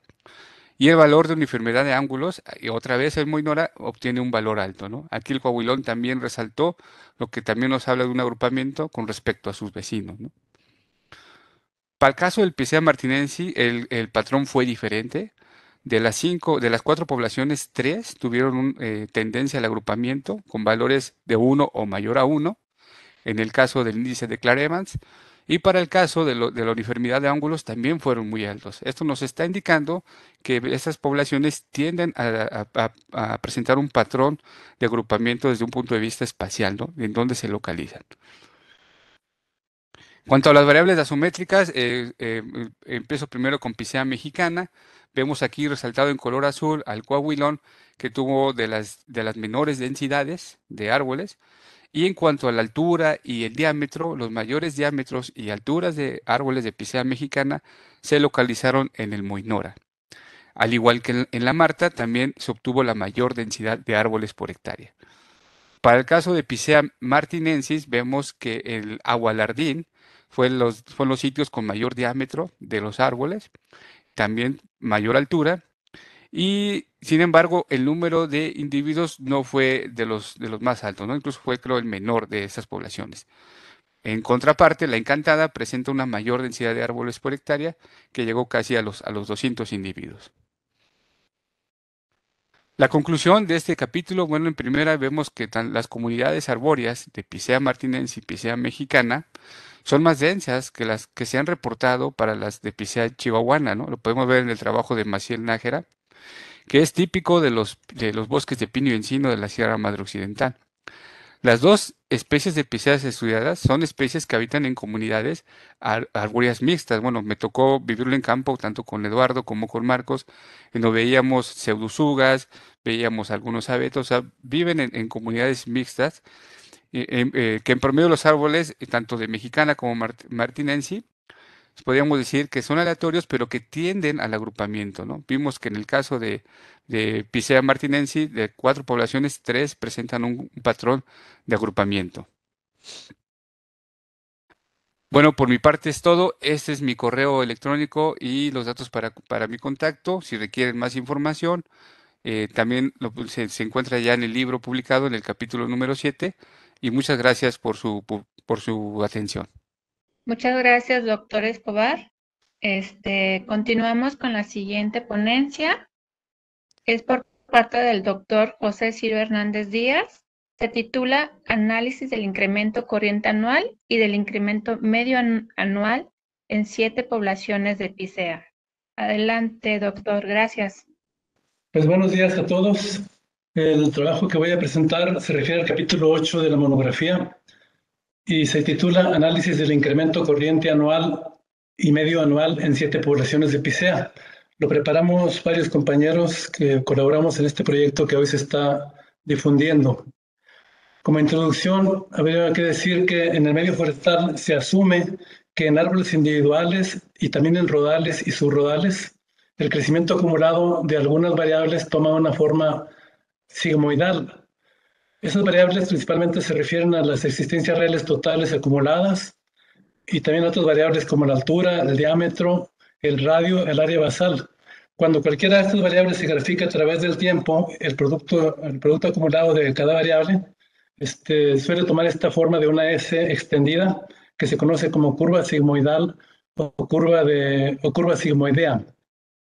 Y a partir de esta curva sigmoidal se derivan las curvas típicas que conocemos de Lica y de Lima. En la parte superior de esta imagen tenemos el, el, el crecimiento acumulado de la variable existenciales totales y en la parte de abajo tenemos las curvas de Lica y de Lima. Vamos a tratar de ver aquí cuál es la relación que hay entre las dos curvas.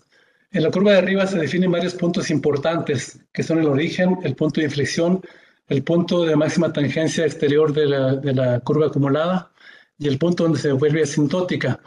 Pero para el propósito de esta presentación, los, dos puntos, puntos principales son el de inflexión y el de máxima tangencia externa de la curva de producto acumulado. El punto de inflexión que está marcado con color rojo en la parte de arriba corresponde al punto máximo del incremento corriente anual. Y, y, ocurre en este ejemplo como a los 34 años aproximadamente.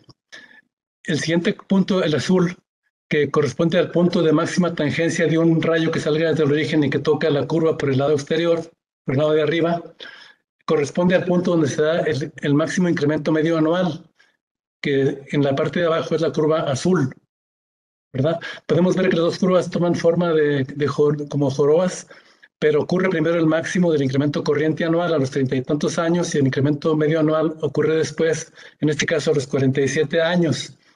También en ese punto donde está el incremento máximo, digo medio anual máximo, ahí se le conoce como turno absoluto y corresponde al punto donde se cruzan las dos curvas de incremento. El incremento corriente anual y el incremento medio anual se cruzan en ese punto que se conoce como turno absoluto.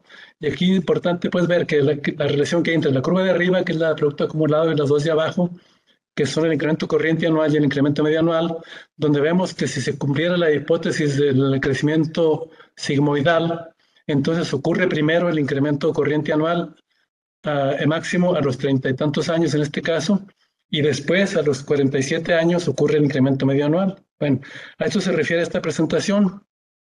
Y el objetivo fue analizar si la hipótesis de este crecimiento acumulado sigmoidal se cumple en los árboles de Picea. Para ello se analizó la variable de diámetro normal. Y para ello se, realizó un, premuestreo, donde se tomaron 10 árboles por población. En este caso fueron cuatro poblaciones de Picea martinesi y tres poblaciones de Picea mexicana, que ya se ha mencionado dónde se ubican. Y de cada árbol de esta, de esta muestra, de esta premuestra, se tomó un núcleo de crecimiento que también se conoce como viruta. A partir de esa viruta se trató de determinar ¿Cuál máximo ocurre a una edad más temprana? ¿El máximo de incremento corriente anual o el máximo de incremento medio anual? Y el análisis se hizo tanto a nivel de árbol como a nivel de población. En caso que ocurra primero el incremento corriente anual máximo antes que el incremento medio anual máximo, entonces la, respuesta sería que se confirma la hipótesis de crecimiento sigmoidal acumulado. Como parte del ejemplo de los resultados, presentamos aquí la población de la encantada Picea martinesi, donde en la parte de, arriba, en la primera hilera, se ven los 10 árboles que, que muestramos en esa población. Y se observa en el cuerpo de la tabla, en, el, en, la, en esta hilera, está el incremento corriente anual y en la parte de más abajo está el incremento medio anual. Se observa que el máximo incremento corriente anual en 9 de los 10 árboles se presentó a una edad más temprana que el incremento eh, medio anual máximo.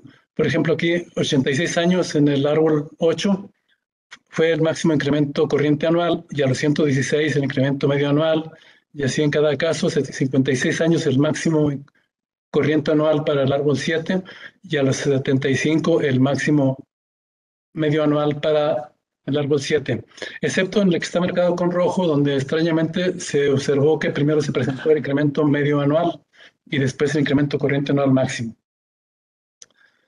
Pero en general se detectó una tendencia típica sigmoidal en la curva de crecimiento acumulado, es decir, que ocurrió primero el incremento corriente anual máximo que el medio anual máximo, aunque esta tendencia fue poco notable gráficamente. Por ejemplo, aquí está la gráfica que corresponde a esa población de la encantada y esta es la gráfica que corresponde al crecimiento acumulado en diámetro. Y podemos ver que no, no se parece a la curva de una S extendida que presenté al principio, más bien parece casi, casi una recta, ¿verdad? Entonces no, no, no parece mucho la curva típica. Por lo tanto, tampoco las curvas del incremento corriente anual y del incremento medio anual tampoco se ven tan la forma de joroba que presentamos al principio, sino que tienden a ser casi, casi una tendencia casi casi horizontal, que dificulta observar dónde se cruzan inclusive. Pero numéricamente sí se puede ver dónde se cruzan. Entonces, como conclusión, observamos que en todas las poblaciones, en el 85% de los árboles mestreados, que en total fueron 70, el incremento corriente anual máximo sí ocurrió a una edad más temprana que el incremento medio anual máximo. Por lo tanto, se concluye que sí se respalda la hipótesis de crecimiento sigmoidal. Sin embargo, gráficamente, como ya observamos, no se definió tan con claridad esas curvas, que aquí también se presentan en el lado derecho. Y eso nos lleva a la siguiente recomendación, que para probar con mayor certeza la hipótesis de crecimiento sigmoidal, sería necesario ajustar algunos modelos de este tipo. Hay diferentes modelos sigmoidales como Schumacher, Chapman-Richards, logístico, Gompers, log normal, varios que, están, que se mencionan, Y para ajustar cualquiera de esos modelos de manera adecuada, se requeriría tomar una muestra más completa y representativa que la que se tomó en este caso, que fueron solamente 10 árboles por población. Con una muestra más representativa sería posible probar con mayor certeza si se cumple o no esta hipótesis que en principio aquí se vio que sí se cumple, pero con ciertas dudas, pues por así decir, por, la, por la curva casi recta de la curva de crecimiento acumulado. Hasta ahí es lo que voy a presentar. Sin embargo, este, también quiero mencionar que aquí en la presentación que va a quedar eh, disponible en Internet, dejé también los resultados de las demás poblaciones. Las que están marcados con rojo son los casos donde se presentó primero el incremento medio anual máximo que el ICA, o sea, lo rojo es donde no se cumplió la hipótesis de crecimiento simoidal y lo blanco es donde sí se cumplió. También están las gráficas correspondientes a cada población por si alguien tiene interés en consultarlas con más detalle después en internet. Sin embargo, también por ahí está mi correo electrónico, por si también alguna duda que se tenga posterior a esta presentación, con gusto platicamos. Muchas gracias. A continuación tenemos la ponencia del doctor Celestino Flores López con el título Propagación, producción de planta en vivero y plantaciones de picias mexicanas. Adelante, doctor Flores. Sí, gracias. Este, buenas tardes. Voy a compartir la, la presentación. Este apartado, el número 9, corresponde a lo que es propagación, producción de planta en vivero y plantaciones de piceas mexicanas, ¿no? Consideramos las tres piceas mexicanas. De antemano hubo una revisión y además, y además una experiencia que se ha tenido con respecto a, esas, a estas formas de propagación o producción de planta vivero y, y comparto también experiencias de algunos colegas que han trabajado con plantaciones de, de piceas mexicanos, ¿no? Este apartado este, lo desarrollamos este, el doctor Cuauhtémoc Sáenz Romero y un servidor Celestino Flores López. Bien, en la parte, en la parte de propagación, podemos decir, y ya por ahí nos estaba, estuvieron hablando los otros compañeros sobre la parte de la propagación, en la parte de la propagación sexual, ¿verdad? Pero en este caso podemos decir que en, en ambas, en las tres especies que, que conocemos, como Picea chihuahuana, Picea martinez y Picea mexicana, la propagación sexual en cierta forma es, es viable, ¿no? Sin embargo, eh, inicialmente, como ya mencionaba el maestro Maya, Hay, problemas de habilidad en la producción de semillas y generalmente esta es muy baja en el caso de Picea martinesi como Picea mexicana. Tenemos proporciones muy bajas de semillas llenas y además esto va a repercutir en cierta forma en la parte de los porcentajes de germinación que, se tengan de esta, cantidad de semillas llenas que que podemos tener por cono, ¿no? Sin embargo, en PCA chihuahuana tenemos poca información con respecto a lo que es la, eh, la, los indicadores reproductivos de conos y semillas.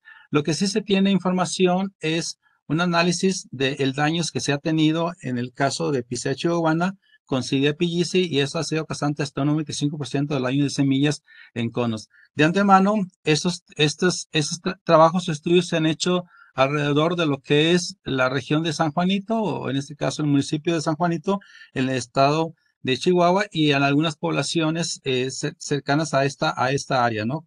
Este, se ha hecho esos, esos trabajos. En general, en general, para las tres especies, la conservación y refrigeración de 0 a 4 grados centígrados, ¿verdad? ha funcionado como un tratamiento preventivo para la germinación y hemos tenido porcentaje de germinación. Este, en el caso de Aguana, no, se tiene información sobre esta parte, pero se han desarrollado en algunos viveros. En el caso, por ejemplo, de la Asociación de San Juanito, ha desarrollado trabajos eh, con respecto a esta, a esta parte, ¿no? Pero nos han, nos han, hemos visto que el, el tratamiento eh, pregerminativo, en este caso, lo, que es el almacenamiento en, en frío, eh, es, ha sido suficiente para obtener porcentajes de germinación. Este, generalmente, para, en el caso de Picea Martínez y Picea Mexicano, los porcentajes de germinación han sido bajos. Hemos tenido rangos desde 9 a 54% en el caso de Picea Mexicana, en el caso de Picea Martínez de 2 a 38%. Esos porcentajes o todos los más bajos han correspondido generalmente a poblaciones, en este caso para Picea martinensis, la encantada, que en su momento El maestro Maya ya ha, comentado eh, la baja producción de semillas y además también este, son las poblaciones más pequeñas que hemos tenido. Y en el caso de Pizarra Mexicana, la población que ha tenido un poquito, eh, digamos, problemas en la germinación ha sido la población, en este caso, de El Coahuilón. Además, consecuentemente, se ha tenido la presencia, el resto de los porcentajes han sido, además de plantas normales y plantas que no, y semillas que no que no germinaron en ese sentido. Eso es con respecto a la propagación sexual. Eh, en la propagación asexual, pues las, experiencias con Picea martinez y Picea mexicana eh, no se tiene información, sin embargo, para Picea chihuahuana se ha hecho una propagación asexual a través de producción de brotes adventicios in vitro, ¿verdad? Sin embargo, eh, en, eso, en este trabajo, el enraizamiento de los brotes ha sido generalmente bajo. Eso es con respecto, en este caso, a la a la propagación. Y aquí eh, cabe recalcar, en el caso de Pisa martinesi, la población, la encantada, pues podemos decir que es, es la población que tiene un estado más crítico en la, en la, en la producción de, de, plántulas normales, ¿verdad? Y también en el caso de, en el caso de Pisa mexicana, la, la, producción de plántulas normales ha sido baja en, el, en, los porcentajes para, para, esta, para esta población. Las experiencias en la producción de planta eh, para Picea chihuahuana y las demás otras piceas, pues se ha, utilizado un sustrato que generalmente todos hemos utilizado, que es la combinación de perlita, vermiculita en diferentes porcentajes. Y en el caso de Picea chihuahuana se ha utilizado lo que es la, la corteza composteada para poder eh, combinar el sustrato. Y en el caso de Picea martinez y Picea mexicana, se ha tenido la experiencia de utilizar Pitmos en esos porcentajes que, que se presentan con la, con la combinación de perlita vermiculita. Y en las Picea se ha utilizado los mocotes, generalmente en proporciones de, de 2 de dos kilogramos por metro cúbico en el caso de Picea chihuahuana y en el caso de Picea martinez y Picea mexicana. En el vivero, en el vivero forestal de la Universidad Autónoma Agraria Antonio Nares se ha utilizado lo que es el osmocote con 1.5 kilogramos por metro, por metro cúbico. Durante el proceso de germinación eh, eh, se ha hecho el control preventivo de dumping off con Captan en, especialmente, ¿verdad? Y en el caso de Picea chihuahuana se ha tenido la experiencia con el control dumping off y además especialmente el hongo Botrytis cinerea, que es caso para Picea, para Picea chihuahuana. Eh, sin embargo, sin embargo, este, en el caso de, de Picea martinez o Picea mexicana, dentro del vivero, a pesar que, a pesar, bueno, en, este caso se ha desarrollado en invernaderos, ¿verdad? Se ha utilizado una malla sombra de 75% de forma permanente, ¿verdad? Que esa es como simulando las características que generalmente se puede desarrollar en campo, esas dos especies, y ha sido funcional en ese sentido, ¿verdad? Este, en el caso de Picea, en el caso de Picea chihuahuana, ¿verdad?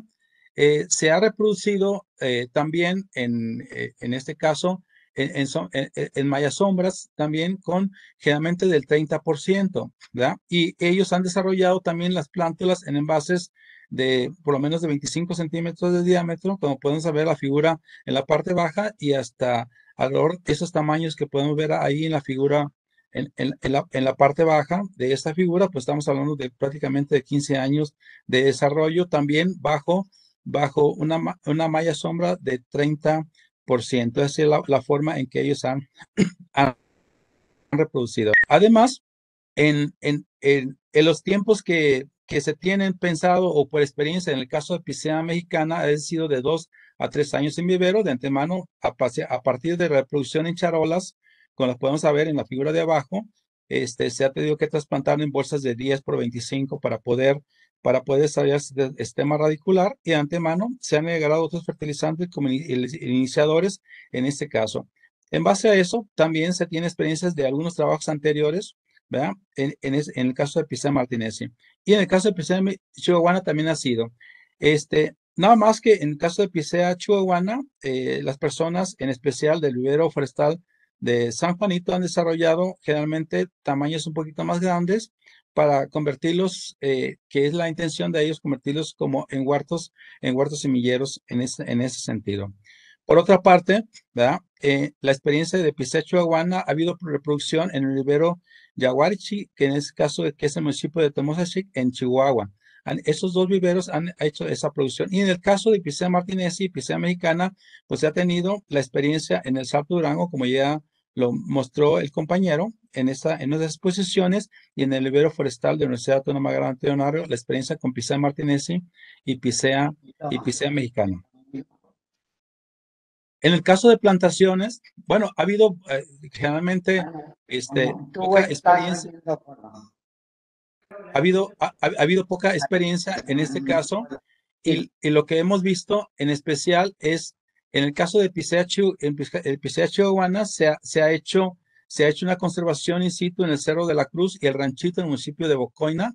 Esto se hizo en los tiempos del el bosque modelo y de antemano hay eh, plántulas que todavía tienen, eh, eh, digamos, ese tiempo, de, de, desde 1900, más o menos a, alrededor del, de 1990, por ahí es cuando se empezaron a hacer esas, plantaciones, ¿no? Esas se hicieron generalmente en tres bolillos y en microcuencas de captación de agua. Y en el caso, en el caso de Picea mexicana, se ha desarrollado también una conservación in situ eh, en, el, en, el, caso de el Cerro Minora, en el ejido El Tule, Portugal, ¿verdad? En el municipio, en el municipio de, de, Guadalupe y Calvo. Se ha hecho en la parte del Minora este, a partir de curvas a nivel, ¿verdad? Y en protección de una microcuenca, generalmente con piedras alrededor como parte de, de, esa, de esa microcuenca. Eh, por otro lado, en el caso también de Picea, de Picea mexicana, se ha hecho una conservación in situ a partir de particulares, en este caso del ingeniero Sergio Brajan, que ha hecho plantaciones de Picea en esa área, en un terreno particular que tiene, y esa es la experiencia que se tiene con Picea mexicana.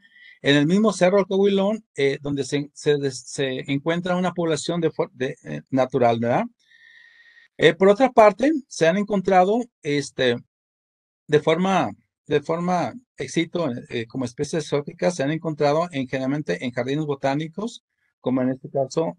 Claro, generalmente esas son, han sido pocas especies, generalmente pues no pasan de 10, de 10 arbolitos que se han tenido en, jardines botánicos en el Reino Unido, en este caso también, en Estados Unidos, y, y, y con fines experimentales en Ontario, Canadá, y en, y en Oregon se han tenido eh, esas, eh, esas pocas, esas pocas árboles, ¿no? Que se tienen en esas en esas comparaciones que se han hecho, ¿no?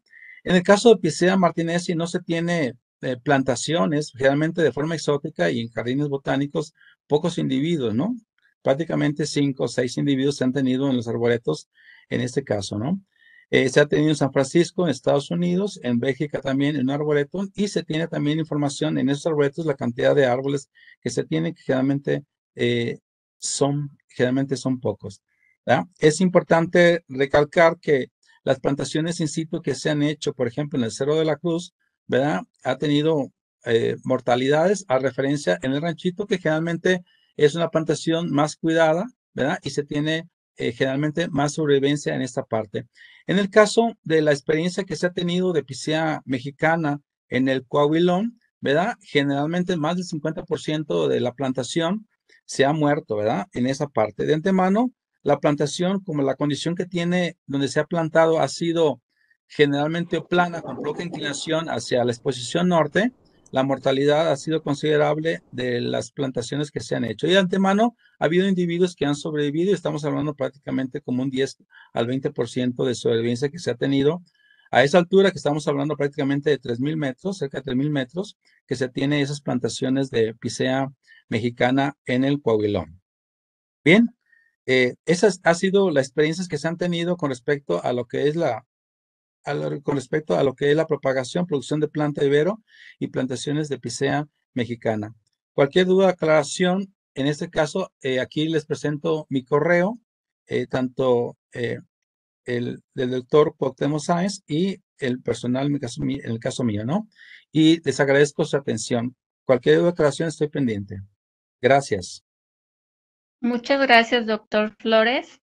Hasta aquí vamos a dar por concluido lo que son las ponencias y vamos a pasar a la presentación de la monografía que se hizo a partir de todo este estudio, que se titula Las picias Picia Pinacia de México. Para esta sesión, primero le vamos a ceder la palabra al doctor Cristian Antón. Todavía buenos días. Ya mm, ustedes escucharon ya varias ponencias que son parte de nuestro libro. Perdón por la, el eco. No sé qué está pasando. De nuestro libro Los Piseas de México. Ese es un libro como producto de un proyecto grande de, de cambios demográficos reproducción y estatus de poblaciones naturales de Picea mexicana, Martínez y Picea martinense, Patterson en México, especies sustentables a eventos de variabilidad climática. Este estaba un proyecto grande pagado con CONAFOR y CONACIT y este terminó hace algunos meses y mm, y en este libro que está ahora mm, ya publicado, encontramos nueve capítulos de varios autores sobre diferentes temas sobre estas especies y sus poblaciones. Sí, las condiciones naturales, ambientales, algo sobre la genética y también eh, el futuro de estas dos especies. Adicional, incluimos la tercera Picea de México, Picea chihuahuana. Aún no estaba parte del proyecto porque pensamos ya mm, en este, este vale bien si tenemos ya un libro completo o más o menos completo sobre todo lo que hay sobre nuestros Piceas aquí. Que, como una vez ya dijo, son, son puros mexicanos, ¿sí? Los tres especies no crecen naturalmente en ningún otro lado del mundo, son endémicas en poblaciones pequeñas y nosotros tenemos ya, ya la tarea que estas especies no se van y, y debemos este, cuidarlos. Entonces, muchas gracias para todos los participantes y todos los que nos escuchan y usan estas informaciones sobre, sobre estas especies. Gracias, doctor Cristian. No sé si también por parte de los autores quiere dar algunas otras palabras. Eh, la doctora Socorro, tal vez. Sí, es la que quiero que diga algo, doctora Socorro. Hola, pues no, este, me parece que ya todos los compañeros completaron bastante la información. Eh, estamos contentos con esta contribución. Muchas gracias también por todo el apoyo de la CONAFOR. Y pues cualquier duda que haya, eh, eh, estamos, estamos a la orden. El correo electrónico, al menos el, mío, está abierto en internet, pero es herbario-civil arroba yahoo.com.mx y cualquier cosa con mucho gusto o si ahorita gustan que contestemos algo, este, cualquiera de los compañeros o nosotros, con mucho gusto. Sí, gracias, doctora. Entonces, este, le cedemos la palabra al maestro José Ángel López López, quien fue el área técnica y el área usuaria del proyecto y quien apoyó también en esta, en esta publicación. Adelante, maestro. Y buenos días.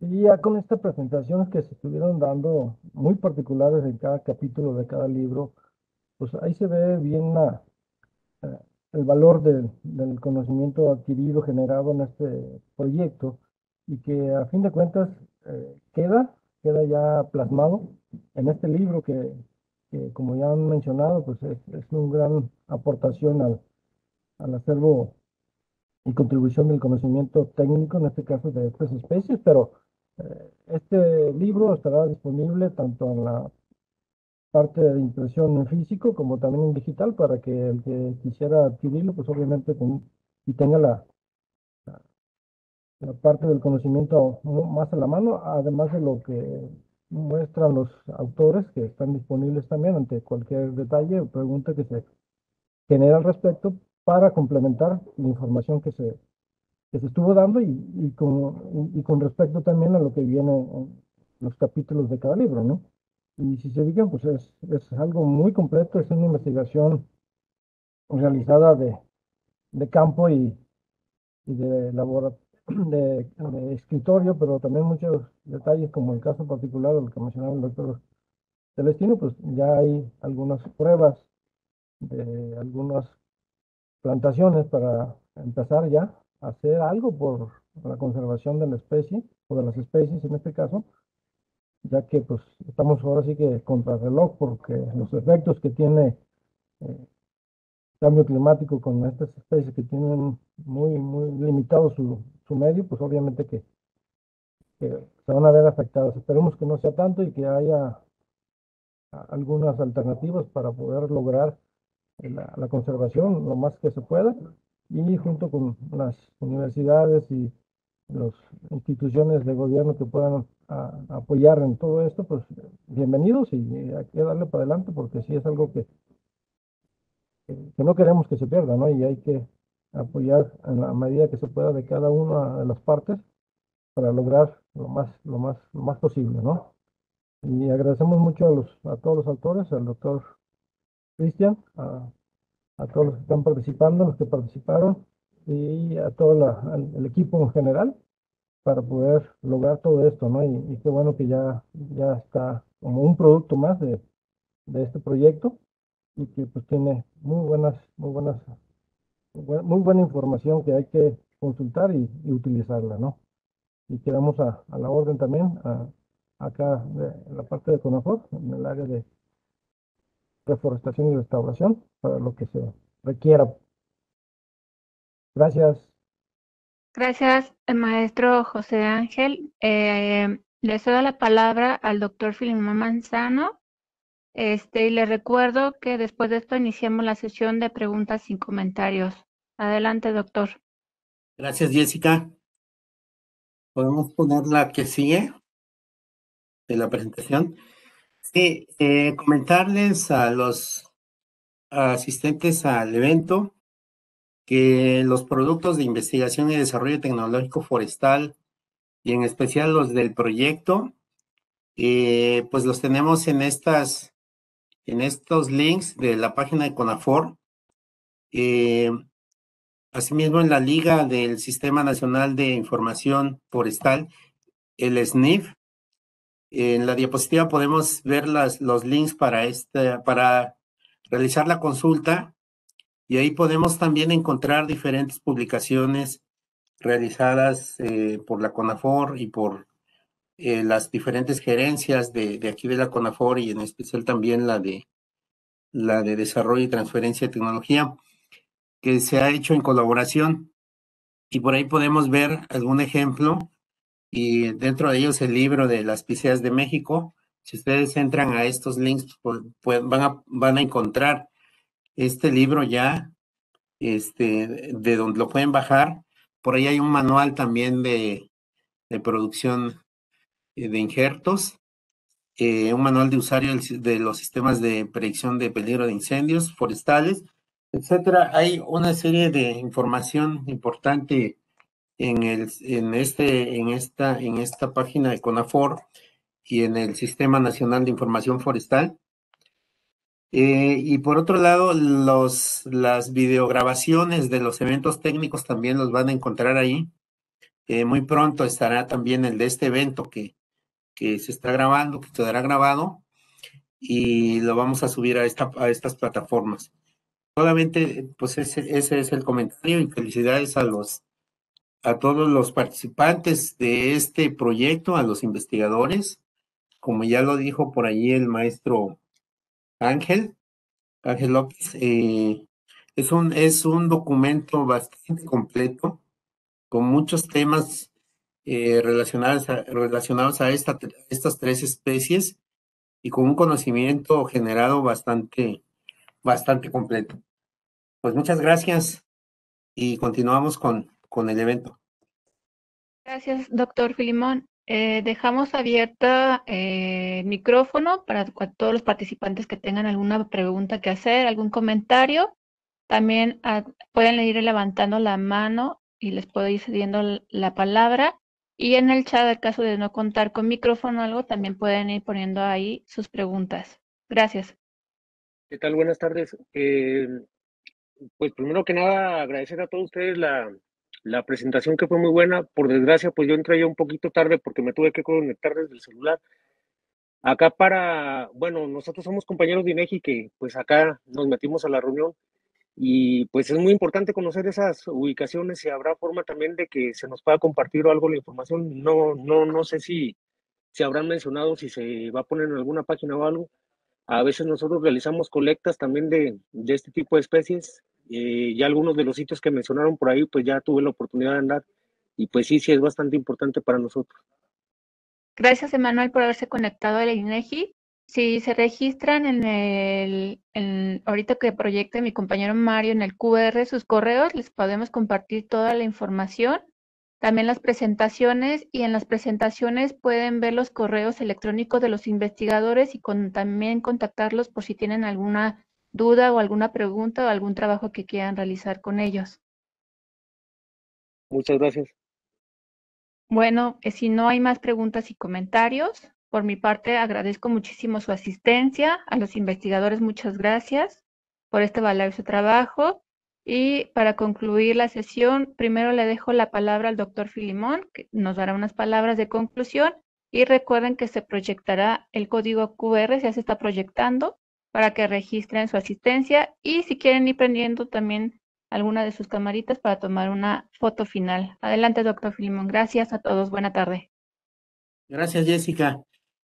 Eh, bueno, pues a nombre de la CONAFOR, eh, quiero agradecer al grupo de trabajo de este proyecto y destaco la participación de los doctores y doctoras, eh, Socorro González Elizondo, Carmen Zulema Quiñones, Cristian Wergenkel, Eduardo Mendoza Maya, José Marcos Torres Valverde, el doctor Ciro Hernández, el doctor Celestino Flores y colaborador. Em, no sé, por ahí, si alguno, alguno se me pase, pues pido una disculpa. Eh, el doctor este Perdón. El doctor Jonathan. Ok, doctor Jonathan eh, y todos los colaboradores que estoy seguro que, que hay más que no estuvieron en este evento o estuvieron conectados, ¿verdad? Eh, es un evento muy trascendental para nosotros, este evento denominado las Piseas de México, especies susceptibles a eventos de variabilidad climática. Eh, y pues quiero reconocer estas grandes aportaciones de los investigadores involucrados, pues acerca de la generación de este conocimiento relacionado a estas tres especies de Picea, desde todos los aspectos, ¿no? Biológicos, ecológicos, su función en los servicios ambientales, eh, conocimientos sobre diversidad genética, indicadores reproductivos, em, los últimos temas que se presentaron eh, relacionados al incremento corriente anual, eh, propagación, predicción, perdón, producción de planta, plantaciones, por ahí también el tema de estructura y diversidad. Yo creo que es un, es un documento bastante completo que motiva realmente a, a revisarlo, a darle una, una leída.